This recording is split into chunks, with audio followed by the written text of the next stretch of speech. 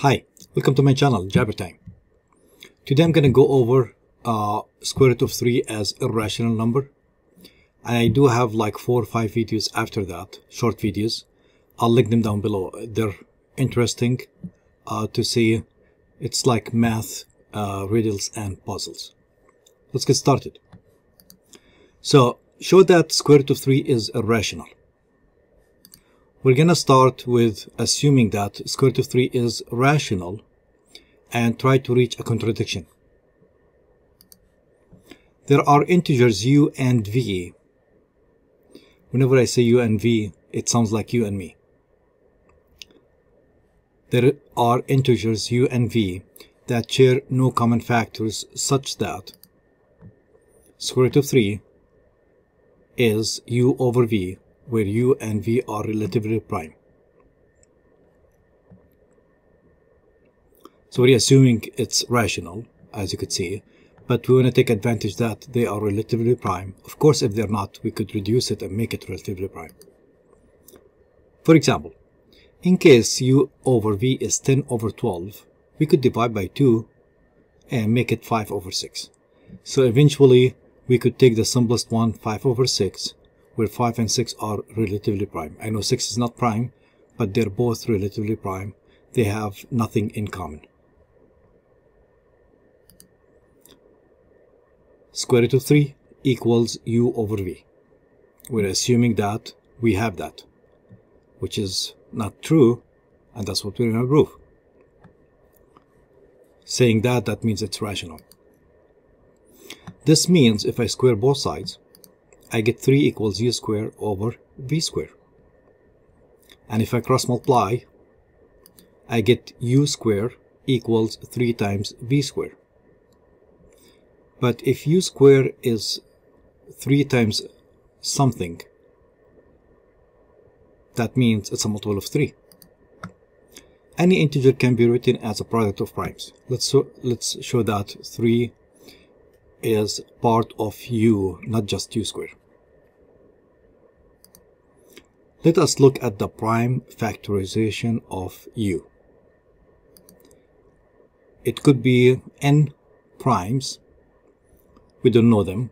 So let's call them p1 times p2 times p3 times all the way up to pn. If that is u, then u square, this part right here, will be that much multiplied by itself. Rearranging, we will have p1 times p1, p2 times p2, p3 times p3, all the way to pn times pn, and they're all multiplied together. Now, we'll go back to this. u square equals 3 times v square. u square is a multiple of 3, we could see that. It's 3 times some kind of integer. So 3 must be one of these numbers.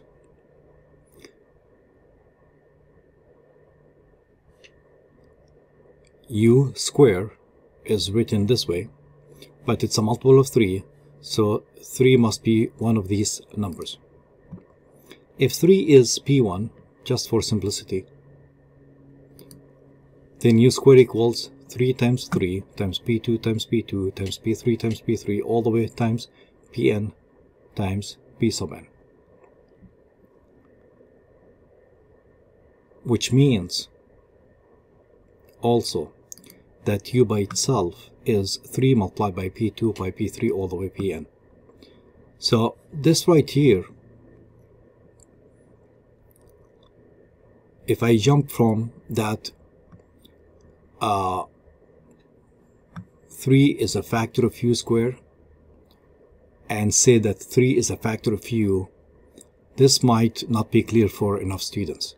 So if you take the time and do it formally, you will see that 3 is also a multiple or a factor of u itself. Which means u is a multiple of 3. So we could write u as 3 times k, where k is an integer. Well, that's a good accomplishment. We started with u square equals 3 times v square, saying that 3 is a factor of u square, we concluded also that 3 is a factor of u itself.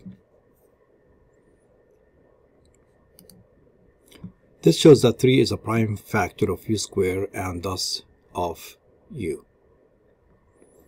So the focus here is u equals 3 times k, where k is an integer. Let's go back to this right here one more time. U square equals 3 times v square. But here we came up with u equals 3k, so I'm going to take advantage of that and plug it in right here. 3k to the second instead of u, as you could see right there, equals 3 times v square.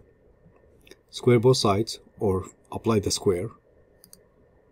That gives you 9k square equals 3v square. Now, if you divide both sides by 3, I get the simplest form 3k squared equals v squared. So let's rearrange this because we want to focus on v squared. Or I could say v squared equals 3 times k squared. When we started right here, all this right here gave me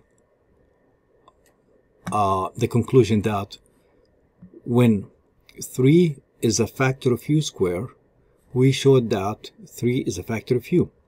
Now 3 is a factor of v square. In the same way, I'm not going to write all these steps again with v square and v. It will give you the same uh, idea to conclude that 3 is a factor of v.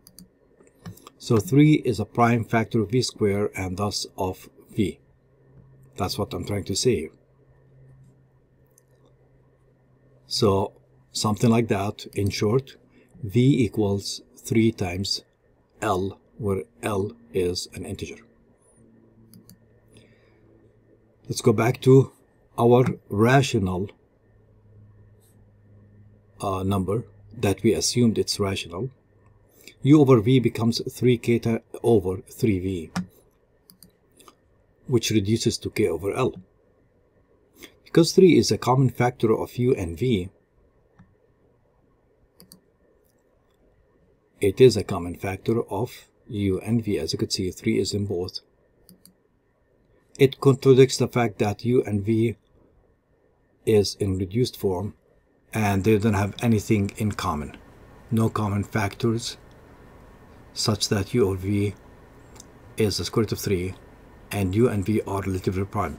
But that shows that they are not relatively prime. They do have a common factor. They both divide by 3 so square root of 3 cannot be written as u over v in reduced form.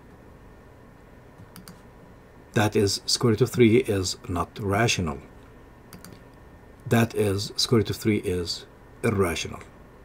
That should do it. It's less than five minutes and that's my plan. To go over the material display everything for you to the best that I can on one page. As you could see it's one page. You could pause the video by hitting the spacebar look at it and take some notes if you need to.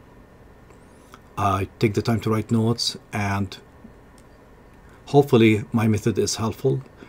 Uh, saves time on your side. It takes time on my side to build it but it's worth it in less time.